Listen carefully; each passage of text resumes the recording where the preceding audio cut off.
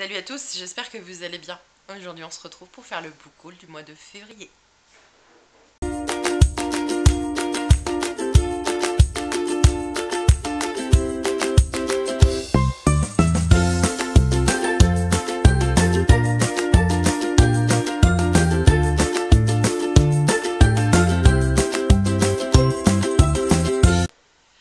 J'avais été bien bien plus raisonnable euh, en janvier puisque je crois que j'avais 10 livres.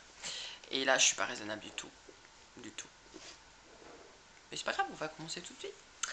Donc j'ai plusieurs parties dans ce book haul. Je vais vous présenter euh, les achats d'occasion que j'ai pu faire parce que vous les avez déjà peut-être partiellement vus euh, dans un vlog. Le vlog du week-end d'amis.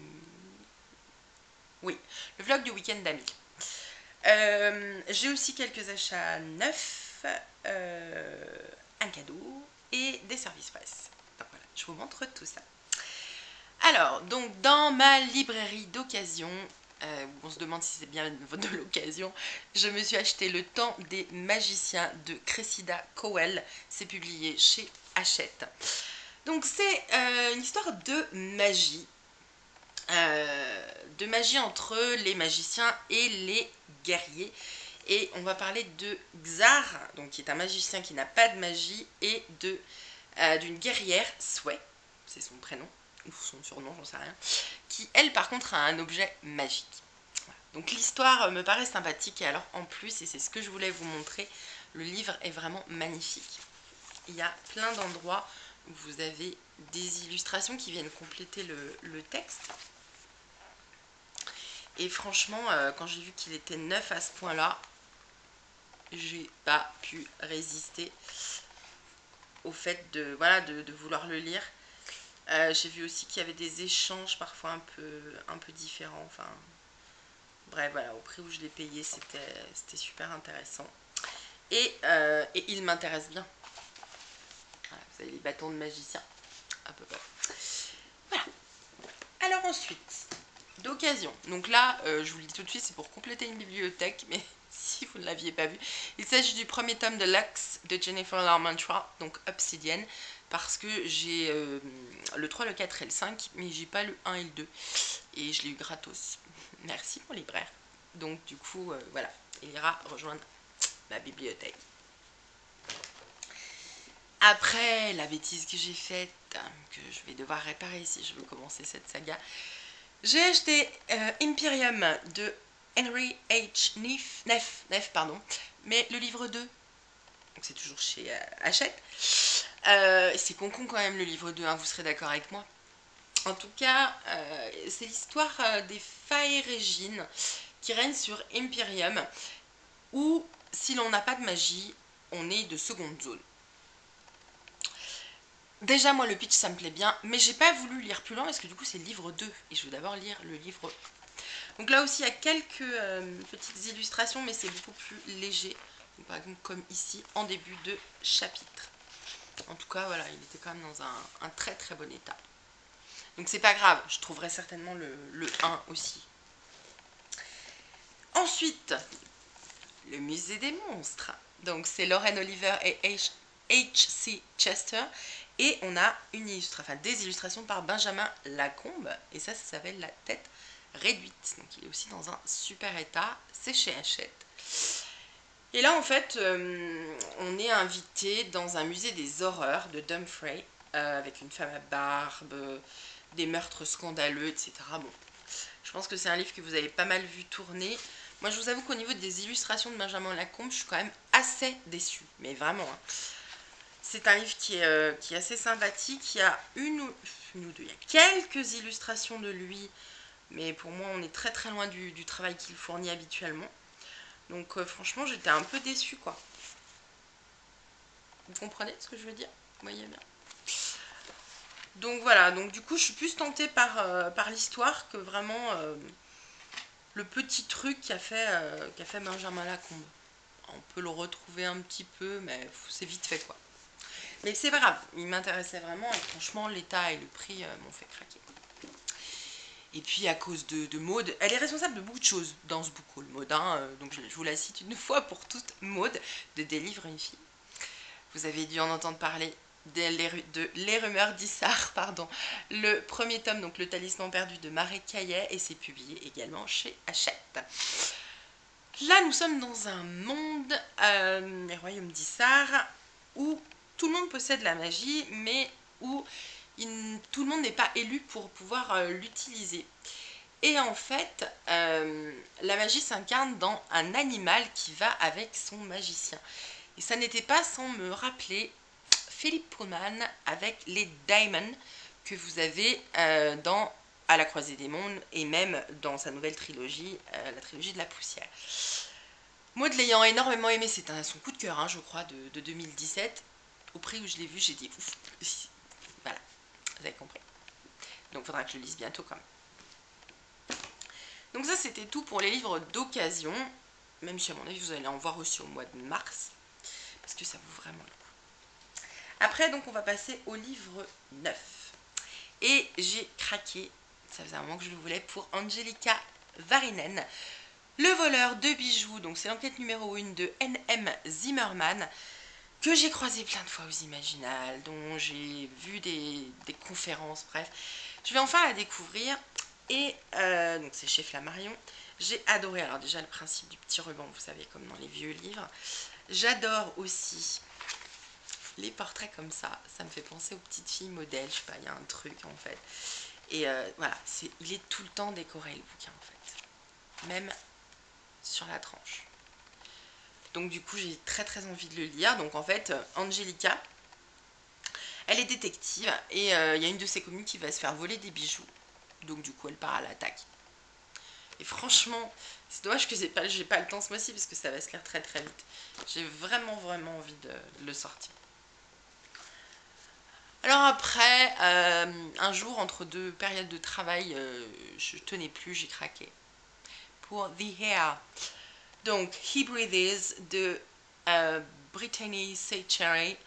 Donc, c'est dans la collection Poche de Hugo New Romance. Donc là, en fait, c'est le premier tome de cette saga que vous voyez partout et où euh, là, c'est Stéphanie pour le coup de Piketty Booking qui a fini de me convaincre qu'il fallait que je les lise une fois que j'aurai fini les Markmen, donc c'est pas pour demain.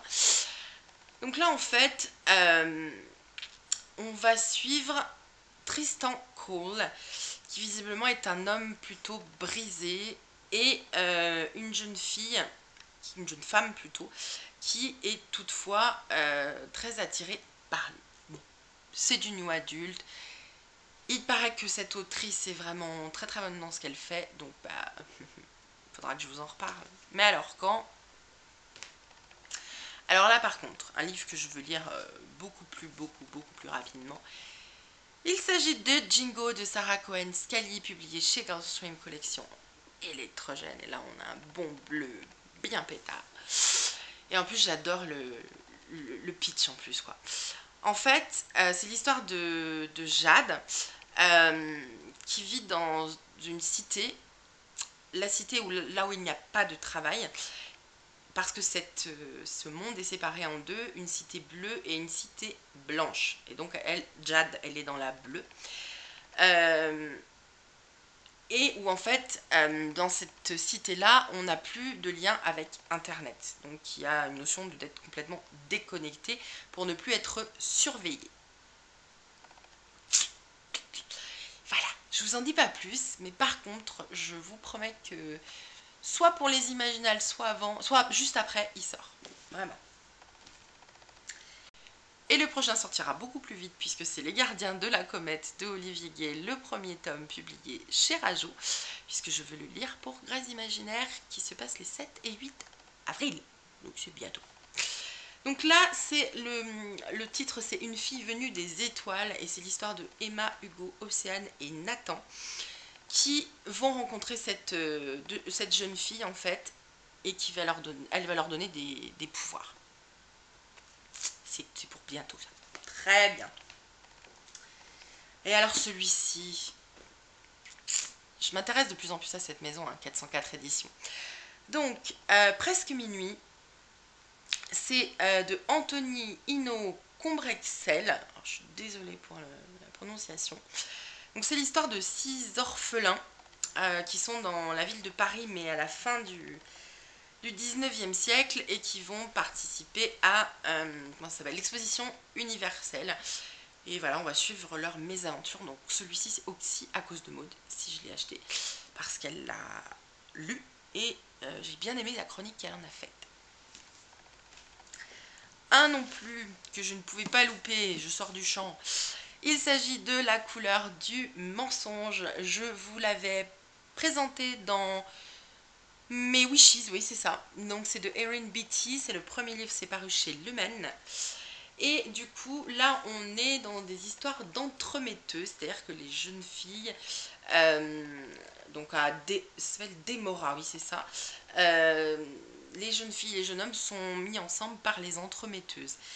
Et en fait, nous, notre héroïne qui s'appelle Sage Fowler, qui est orpheline, elle voudrait bien pouvoir trouver euh, un parti, mais du coup, le fait qu'elle parle beaucoup, je me sens pas visée, enfin qu'elle ait la langue bien pendue, ça va pas forcément être à son avantage, mais par contre, elle va devenir assistante d'une entremetteuse.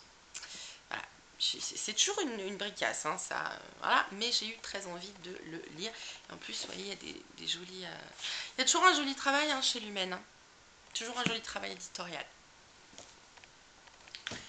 Alors, mon achat France Loisir du mois, il s'agit de La Faucheuse de Neil Schusterman, publié dans la collection R, Robert Laffont. Et là, bah, du coup, je pense que c'est même plus la peine de le présenter. C'est, euh, on va suivre des faucheurs donc des personnes qui apportent la mort, enfin qui donnent la mort. Et, voilà, je vous en dirai pas plus parce que vous le connaissez sûrement mieux que moi, vous l'avez sûrement lu, et dans tous les cas, je vous en reparle en boucle, ou maintenant que vous le savez, pour le clip. Pour ceux qui ont aussi vu le vlog euh, du week-end à 1000, Sandra m'a offert pour notre swap de janvier La main de l'empereur, le tome 2 de Olivier Gay. Comment ça, il y a deux Olivier Gay dans mon book Oui, il y en a deux. Il y en aura aussi d'autres bientôt. Peu importe. Donc c'est la suite des aventures de Rec lorsqu'il a, je crois qu'on le quitte à peu près 25 ans, donc je pense qu'on va le retrouver euh, à peu près à cette époque-là. Et je vous en dis pas plus, sinon je vous spoil.